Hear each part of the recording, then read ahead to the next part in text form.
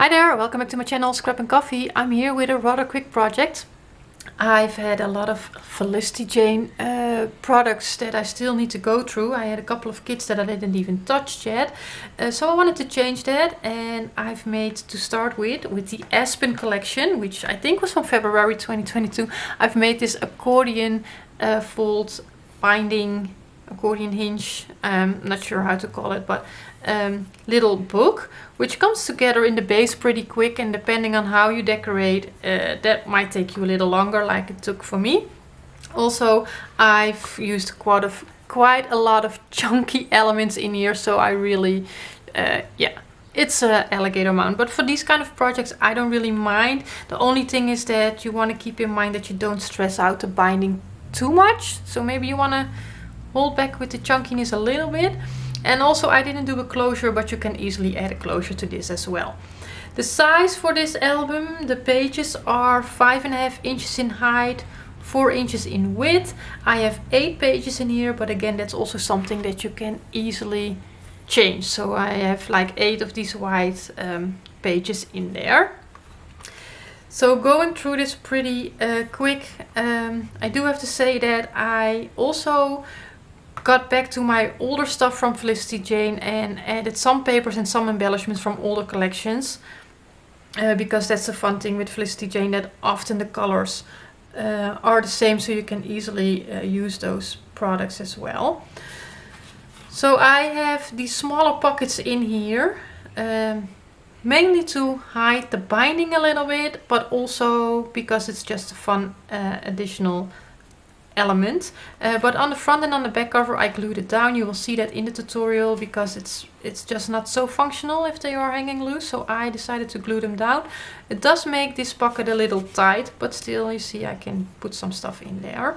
I don't really like these hearts by the way, but they are glued down and if I take them off I will damage the, the paper, so I'm just leaving it.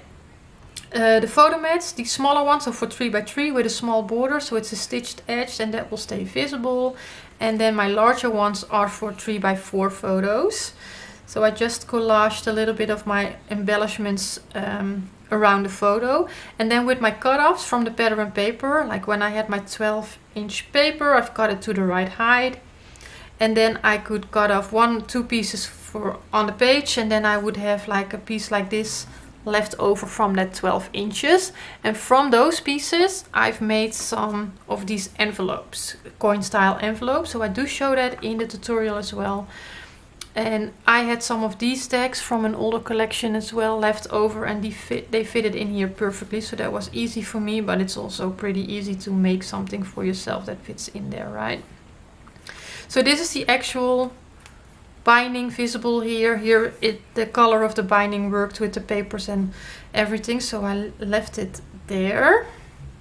And then these are, for example, really chunky embellishments, these fabric hearts, but I love them.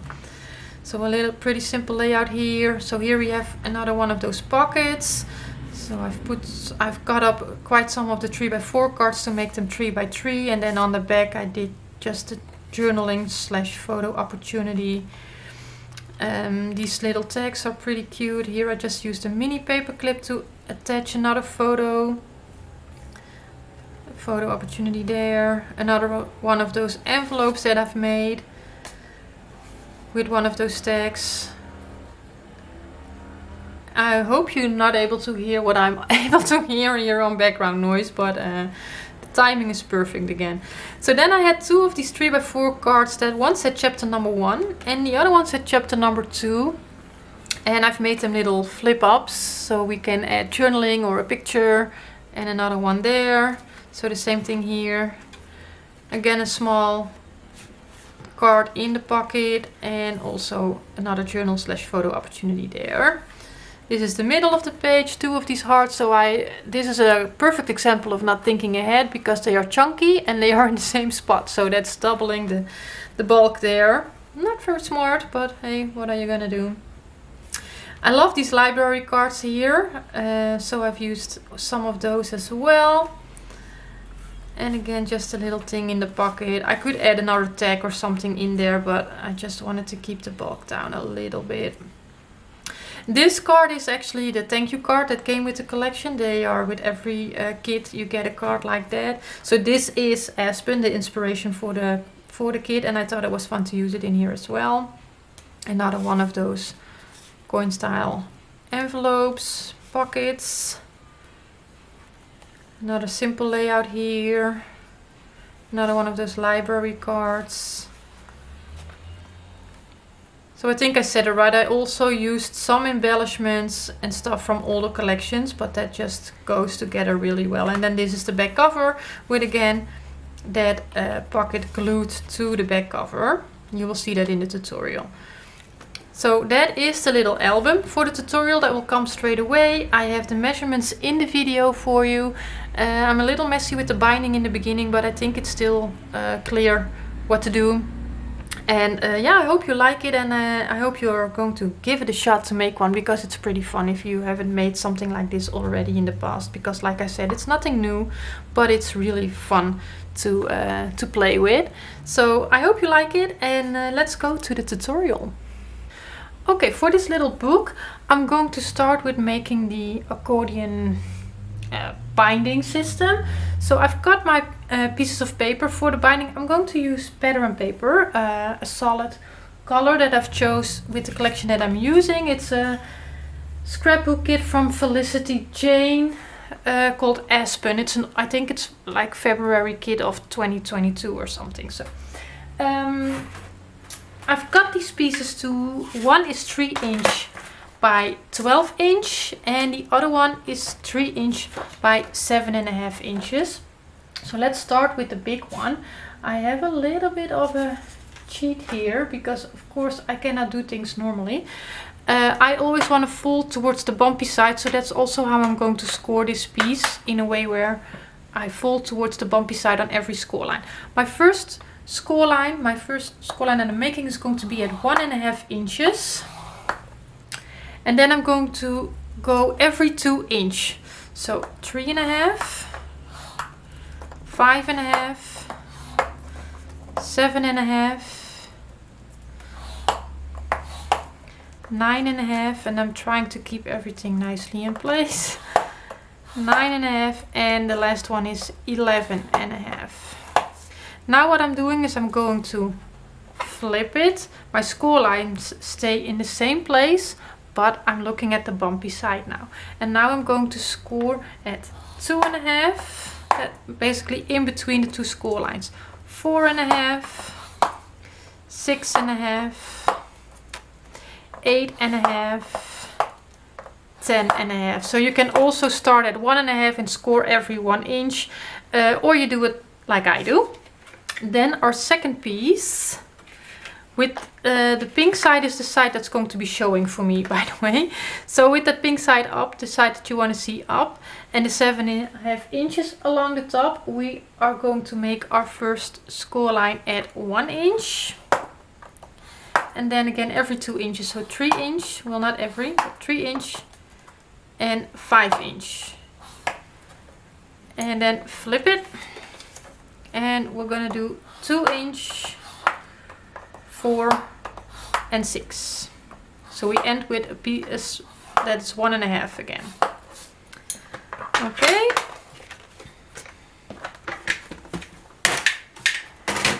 And then like I said, I will fold towards the bumpy side on every um, score line.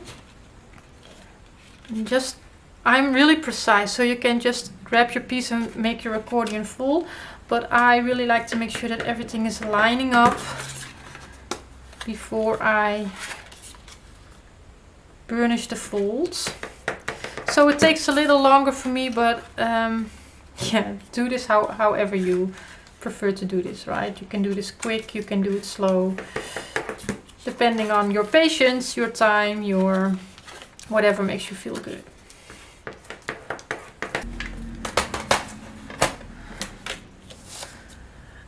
Ehm, let's see. For the the second piece I said it I said it wrong.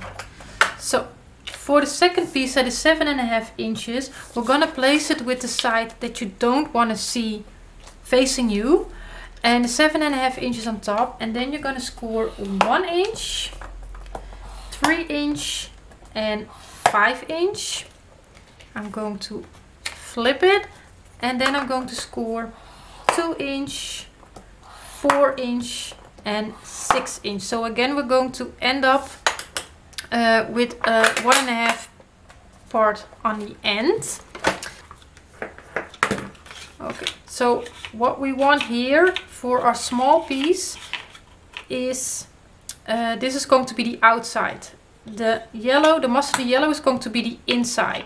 And every mountain fold is going to be a page um, so I want my last one when I'm looking at the inside of my binding to go up and the first one to go down.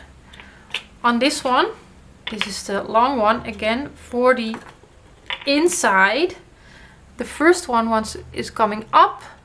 The last one, that half inch part, is go is also going up. And we are going to connect it here together. So we're going to have one, two, three, four, five, six, seven, eight, mountain folds. We can attach eight pages this way.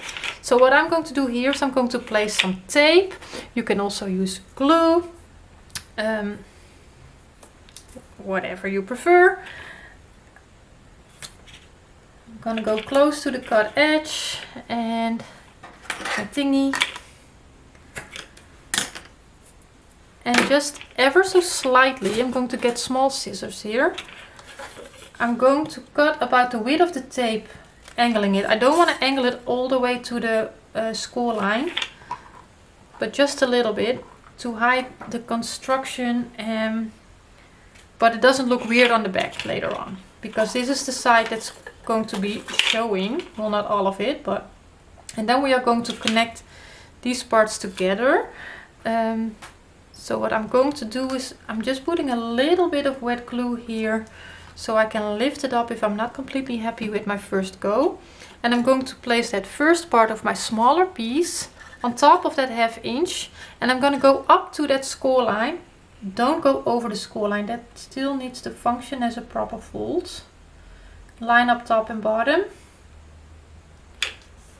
and make that one long piece.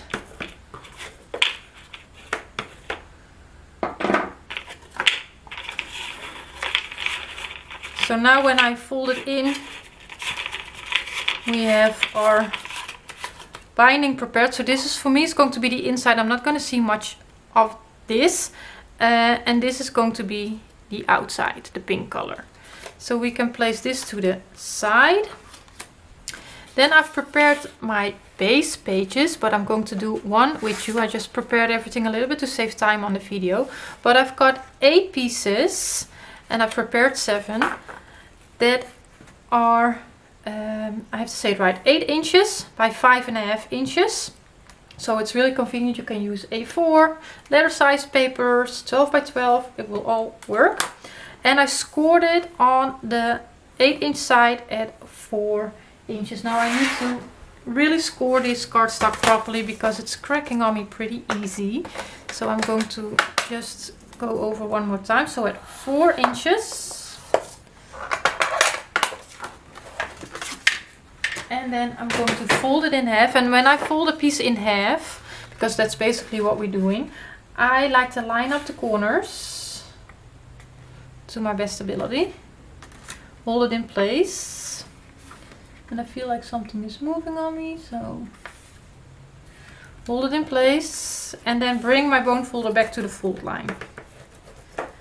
Because sometimes if you just fold blindly on your score line it doesn't end up uh, right so now I'm going to open it back up, get a ruler, and you need to do this for all your pieces. You can also make one and use that as a template.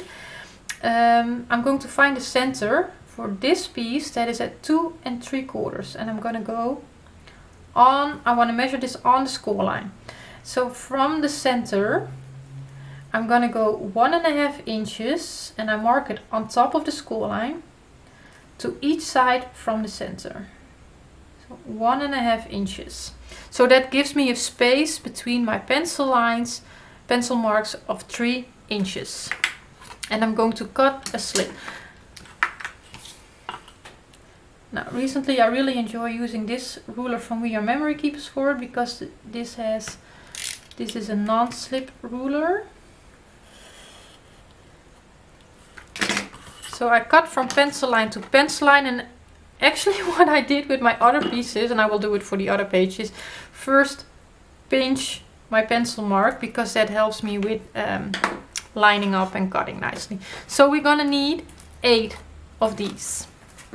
Very simple basic pages. Then what I also prepared is eight of these pieces. So I'm going to do one more. These pieces measure four and a half inches by six inches. And on the six inch side, I scored at three and a half inches.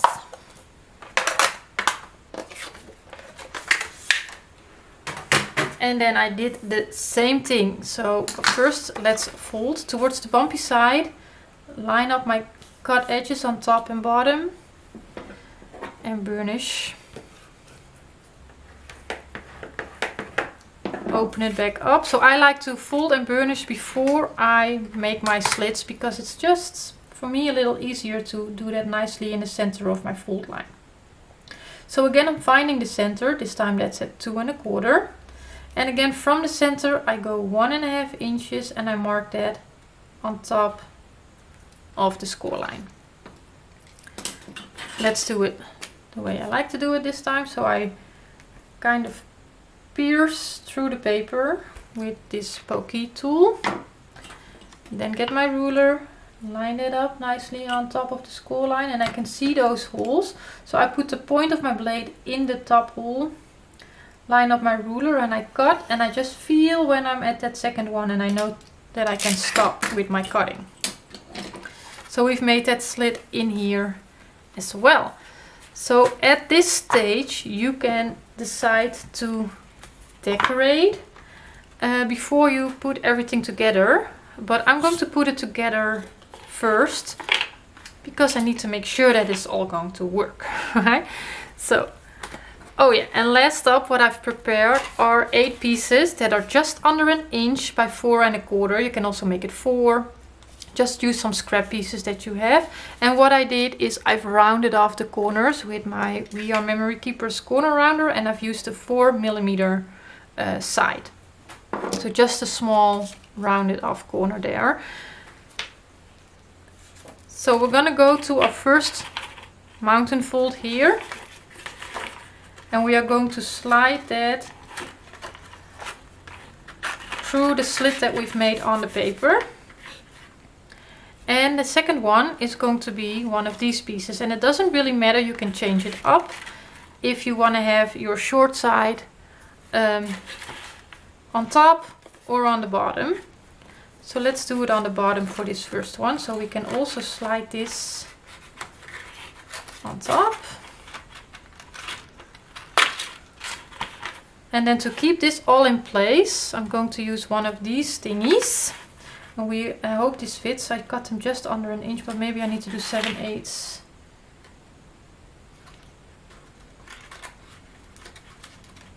I think I'm going to put 7 eighths in the cutting guide because that's going to be a, a little bit of a better fit. I will correct it.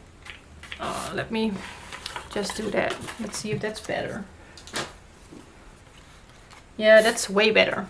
So 7 eighths of an inch is what they need to be. So I will re-round the corner. The reason that I'm rounding the corner is basically because I think it helps with sliding in. You can go for any look that you uh, that you want, right? So I need to recut all of them. Okay, I've corrected my um, little strips to three quarters of an inch even because I realized they were too big. So I can slide this in. I can slide that in. Yeah, there we go. Um, center it. And from here we can see what we want to do with this page. Now I don't think I'm really looking forward to seeing this mustardy yellow too much. Um, so I will add some glue to create create a pocket out of this. But before I'm going to glue everything shut, I'm just I want to see how all of this is going to do bulk wise if I do this on every page. So now I'm going to do it in the other way where my short side will be first.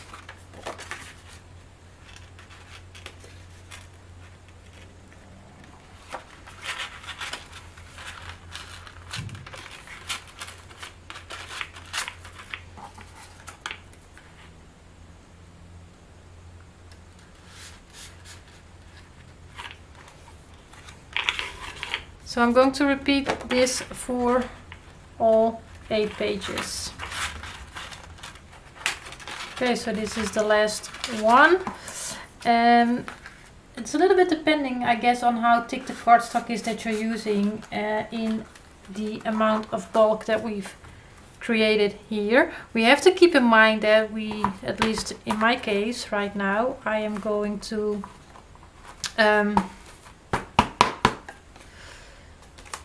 put pattern and paper on the inside of my pages. Uh, so the bulk will increase a little bit more. I'm, I think I'm fine. But what I might do to reduce it a little bit is change up some of my blank pages and make my pages out of the pattern paper already. So that's an option to reduce the bulk. Uh, and you can leave out some of these smaller ones in some pages to reduce the bulk. And then you can either make your little tab slider, I don't know how to call it, a little longer if you want to or leave it in the same size, that's all fine. Uh, but it also depends a little bit on how much do you like what you're going to see on this inside, right? So like I said, I'm not a big fan of the mustardy color. However, I do have some papers with that color as well. So I might just decide to use that color on the inside of the and just have this showing and take this out to reduce bulk. But I will see how I go um, with my decorating part. So this is the base of the book. My next step is to create my covers and I'm going to do that out of chipboard. So I'm going to prepare my pieces of chipboard for it and I'll be back. Prepared my pieces for the cover. However, what I forgot, and we can do it right now, is I'm going to glue this part um, of our binding on the top and on the back of our outer pages. Um, that means that this won't be a part of your page. This is what we're going to attach to our cover. Um, you can do this with wet glue, double-sided tape or whatever it is you prefer. I'm not sure how well I can get this taped up, so let's just use glue. It's all fine. So I'm adding some glue here up to the score line, my outer edges.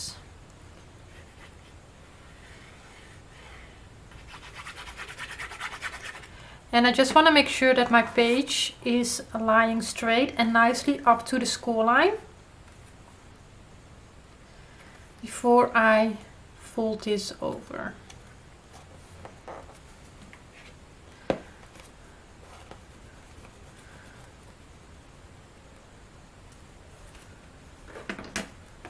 Okay, I'm going to do the same thing on the other end.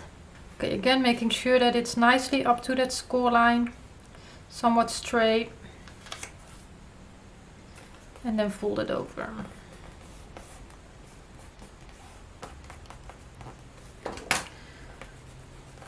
Now, I've also seen versions of, that's mostly what I've seen actually, is where people place the cover and then attach this part on to the outer cover.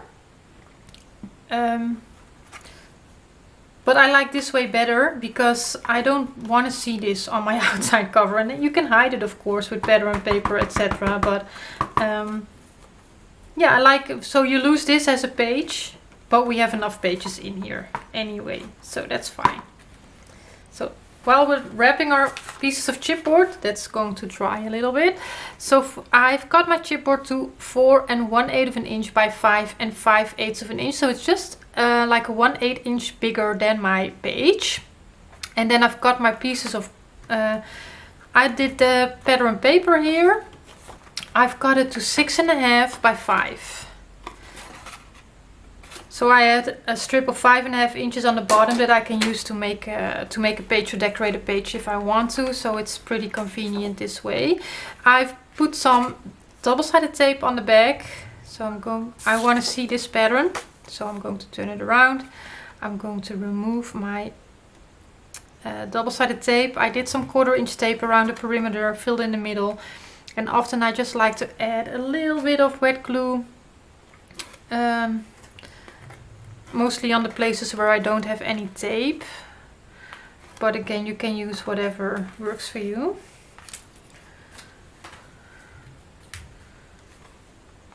So I go over this a little bit so I, I can lift it up if I'm not really happy with my placement.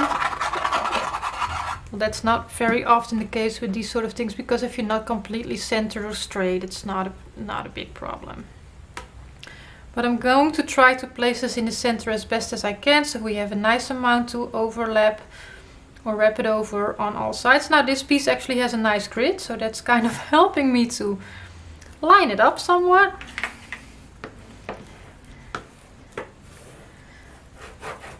Give it all a good burnish so we don't have any lines of the glue showing later on. Smooth that out nicely. And with an embossing tool or score tool, I'm gonna go around the edge of the chipboard to like score the cardstock a little bit. And if you want to use pattern paper as well, I always advise you to, maybe if you have a little scrap piece or something, uh, to try it first if your pattern paper doesn't crack on you if you score and fold on it because some pattern paper will crack on you. Uh, so it's a good idea if you're not sure to try it. Now I knew with uh, Felicity Jane cardstock I've done it before so I knew that was not going to be a problem.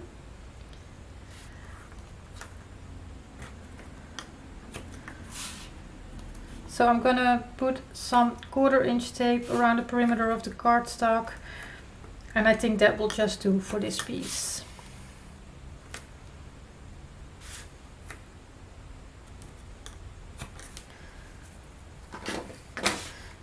Giving that a burnish. And then I'm going to miter the corners. So sometimes what I like to do is just pre-fold on this cardstock and then I can see a little bit better where I want to cut. And you want to stay away from your chipboard um, corner a little bit so you can overlap your cardstock there. Just with an angle, stay away from that corner.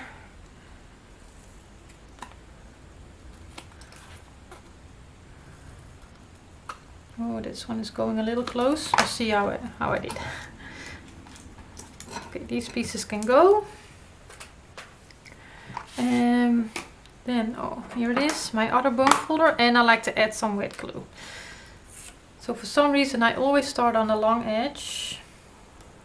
I put some wet glue against that chipboard edge and then I'm going to wrap it over. And I always like to go over with my bone folder a few times, especially if I'm using pattern and paper, to really break down the fibers and just prevent it from cracking on me. At least if it happens, I know that I did everything that I could to prevent it. And if it, then it still happens, yeah, there's not much more that you can do about it, right?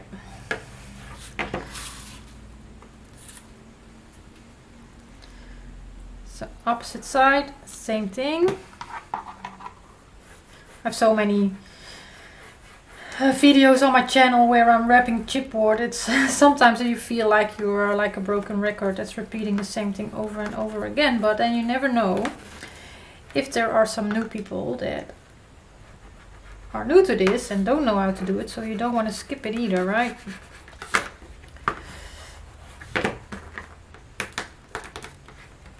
Okay, so we've done that. Then we're going to go to the short sides. And before we're going to wrap it over, we're going to fold in our bits of overhanging there.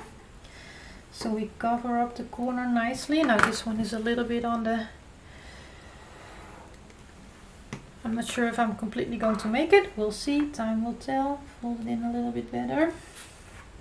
Because it's coming back out and I don't want that. Okay, there we go.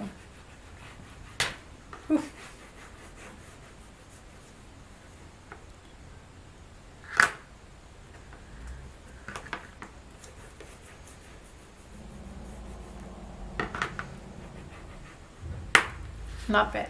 Okay, that's nice. We do the same thing on this side. I hope I'm in frame sometimes I work a little bit too close towards myself and then don't realize that my camera is not catching what I'm doing or not completely what I'm doing. So sorry if that's happening. I need to work a little bit further away from me. That's something that I sometimes forget.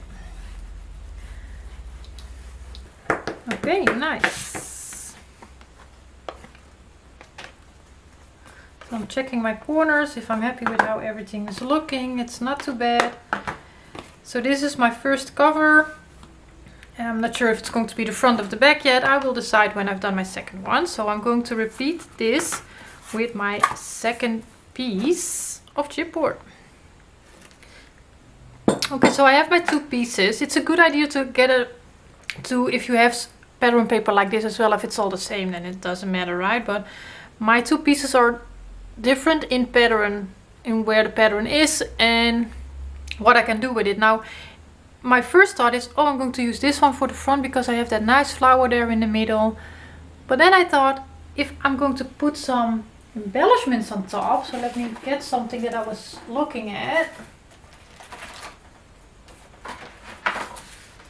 I'm not completely set on this yet, but like I have this house and I have this girl, which is called Aspen, and I have this tree, then that's, it's gone.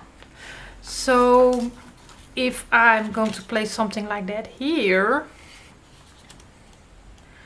I have way more of that flower showing than if I use this one on my front cover. So just before you go and stick it down, it might be something that you want to think about. So this is going to be my front cover because I would feel a little less um, guilty, I guess, if I'm going to put some stuff on top of that. Here I would really just cover up that, that flower that's in the center and it would make for a great back cover. As for attaching this, like I said, I'm going to attach it the page I'm going to glue onto my chipboard piece. So this is a good moment for me to think about do I want to use any corner punches because then I might want to add that detail here as well. And I'm really thinking about my cloud punch. Is it scallop? I always call it a cloud punch, but it's called a scallop punch. The cloud punch is a different one, I don't even have it. But, um, so I'm going to, let's well, I'm going to do the back and the front anyway, so that's fine. I'm just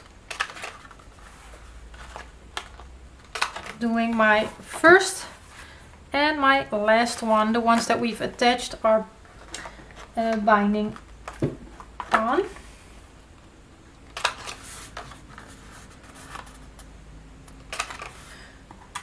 So I'm going to keep that close because I will use that more. So let's see, does it really matter front back. It doesn't right? It's all just the same. Yeah doesn't matter. Okay. So I'm going to attach some double-sided tape on here. I just I just like to work with double-sided tape. In the meantime I'm trying to have some coffee because otherwise when I'm making videos I intend to not take really good care of myself not drink enough so having some coffee right now. So on the outside of this page I'm gonna go around the perimeter with some quarter inch tape. I'm not going too close to my decorative edge here. It's a little tricky right because it's all it's not like nice and flat so take your time. If you want to use tape as well but what I was gonna say is that it's it's all up to you in the choice of adhesive that you want to use. If you like to use wet glue, I'm not telling you that you shouldn't because I don't think it makes very much of a difference. It might even be better. Uh, the reason that I use uh, double-sided tape instead of wet glue is because I feel that when I use wet glue for constructing my projects um, I kind of warp the paper more it's an it's I feel that I get a cleaner um, a cleaner construction with the double-sided tape and I add small amounts of wet glue for wiggle time or all that. Um, but that doesn't doesn't give me the warping like it would when I would use the wet glue only. So that's for me my thought process behind using uh, double-sided tape instead of wet glue. And if you choose, if you have a different opinion on that, then that's totally fine. And that's definitely what you should do. It's just, I feel a lot of crafting is personal preference. And if you use double-sided tape, I would definitely advise you to use a quality double-sided tape. Because that makes a huge difference. Okay, so this is a little tricky, but we're gonna aim for a small border all around. Uh, so I'm lifting it up. And maybe I want to stand up for a second.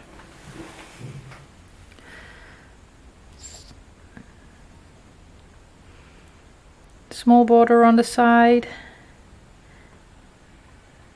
And the most difficult part for me is to even it out on top and bottom, my space right now. That's also because I've used that corner punch. With that I also see my construction of my cover a little bit better, but... Oh, this is so not straight. And that's why the wet glue. Maybe I'm going to start right there. Sometimes, by the way, I also feel that it's more my cardstock that's not straight than anything else. So maybe in this case the chipboard piece is not completely straight. Maybe I should just not be too worried about it.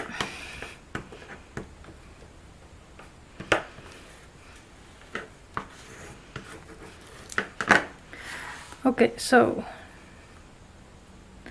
the front and then the back. So I am having a little bit of a check on orientation here for my papers. Although with flower patterns it doesn't really it shouldn't really matter but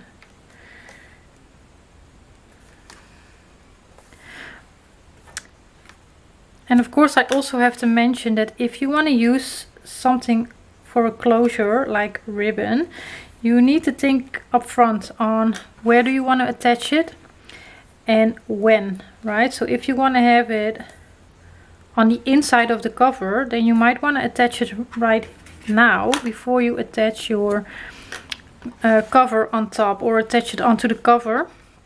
So you hide your construction of your ribbon between this part and your chipboard cover. Of course you can also have ribbon on the outside um, for now I'm not really set on ribbon or something. I might change my mind later on. Um, I'm not even sure how much I'm going to want or need a closure, but these are things that you want to think about up front, right? Okay, I'm going to remove these stay backings and add some wet glue.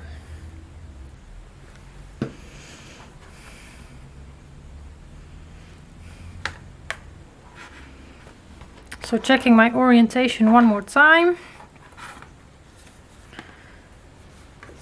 So this is how it will go. So again, let's. I'm starting with lining up the corner here in the fold with my chipboard, where I think I have a nice border on the bottom and on that side. And I can adjust the side if I think it's needed. But I also yeah that will be fine. Like make sure that my chipboard is lining up somewhat the front and the back cover.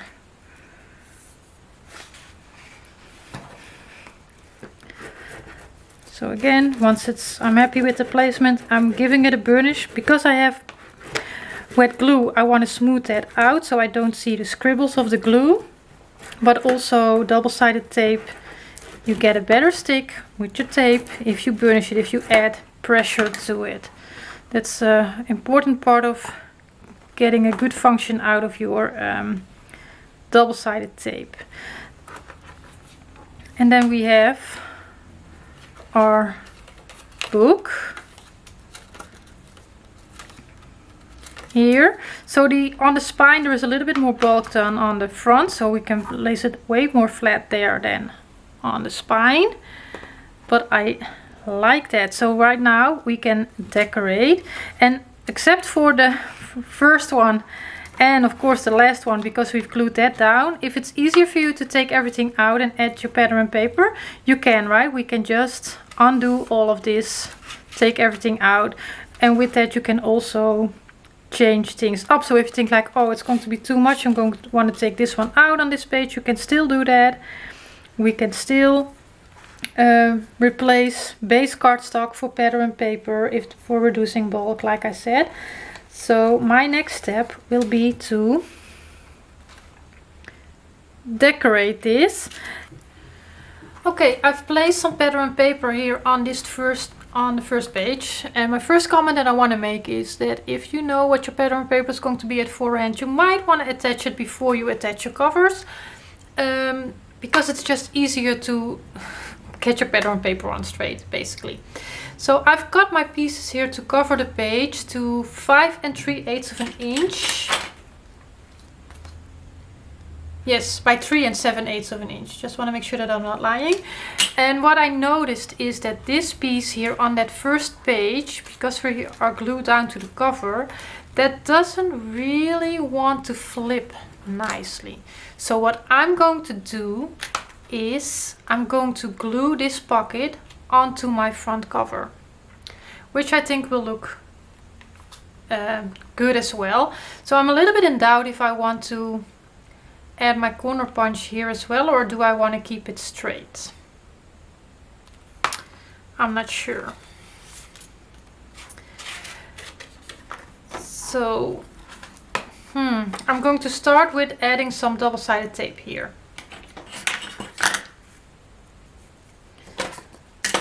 Give all of that a nice burnish of course. And then what I can do is I can add my decorative paper uh, before I put it on.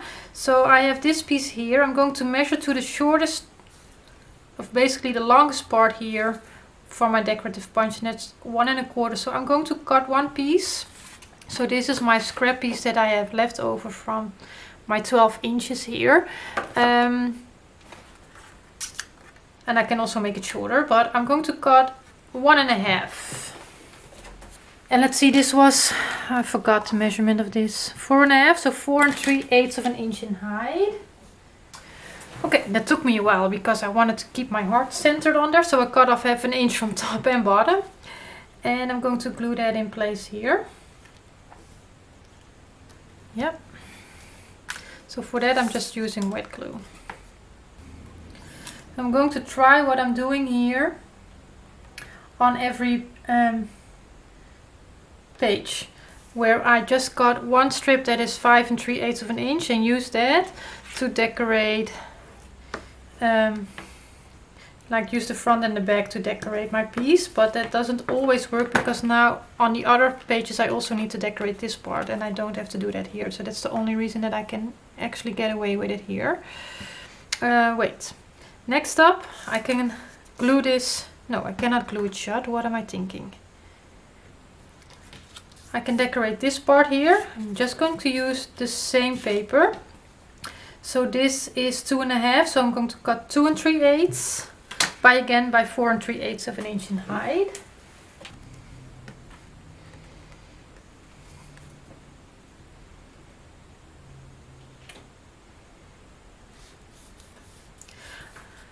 When I was starting this project I was really in doubt if I wanted to use white paper as a base or black paper as a base.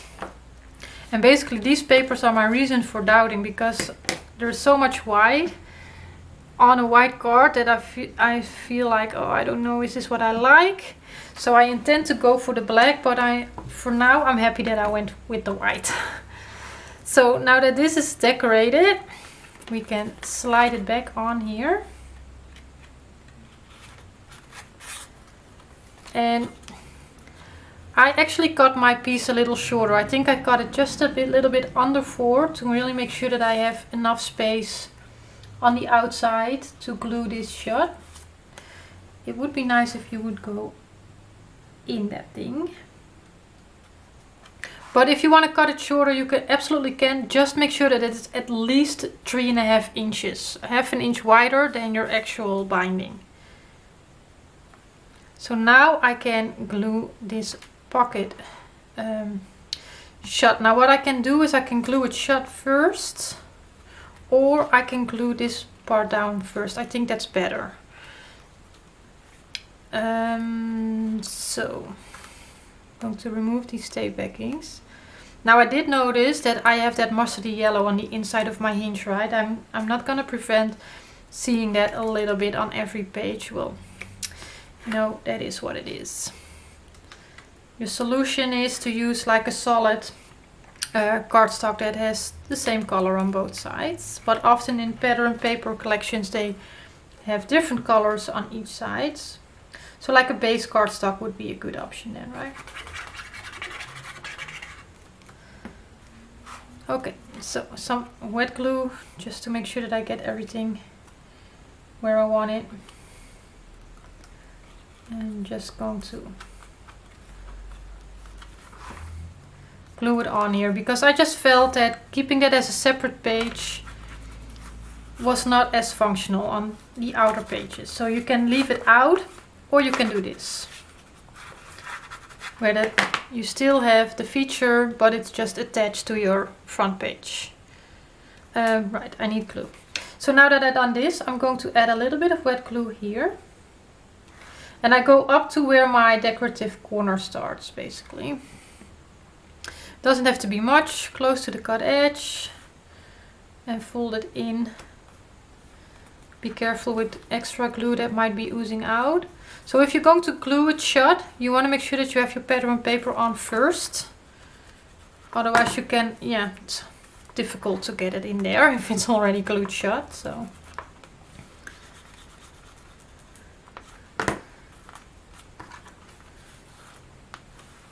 So there we have it. And then I have a tag lying here. This is from a different project, but we can slide something in there. And that still looks good, right? Even though it's glued down. It's not what I had in mind in the first place, um, but I think it's a good solution. Uh, so what you can also do is leave that whole part out, right? Where you, it depends on how much you like this, where you just have this here on the inside. That's also, that also works. So it's really up to you how often you want to use this element and how and where and yeah I think I've went over it enough by now. So I'm going to continue with decorating my album so there will be I don't really have a photo mat close by but there will be like photo opportunities on my pages and I think you can go up to three and a half by five inch photo and smaller so a nice nice size. So I'm going to continue with decorating, adding some embellishments. Um, yeah, I think I talked about closures already a little bit, right? But if I decide on making a closure and I feel that I need to turn my camera on for that, I will definitely do that. So for now, uh, yeah, I already showed you the, the end product in the beginning of the video. So uh, yeah, I hope you liked it. It's a really fun project to make. And uh, yeah, I hope you enjoyed the video. So thank you for watching. Enjoy the rest of your day and see you in the next one. Bye bye.